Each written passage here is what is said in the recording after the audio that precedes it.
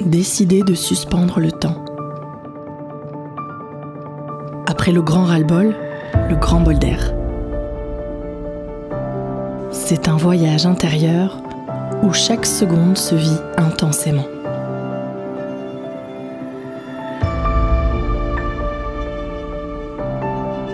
Se déconnecter pour mieux se reconnecter. À l'essentiel, à ce qui compte vraiment. Au murmure du vent qui nous confie un secret, au bruissement des feuilles qui nous bercent. Laisser couler la rivière, laisser couler les minutes et inspirer profondément. S'inspirer, tout simplement.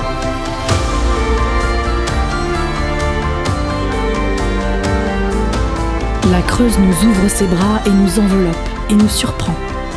On se redécouvre et on se sent aligné.